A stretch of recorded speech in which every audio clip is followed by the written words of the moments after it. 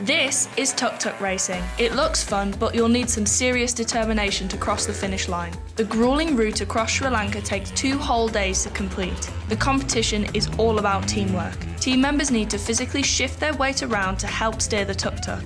Many times, they even have to hop out and push it back into position on the track.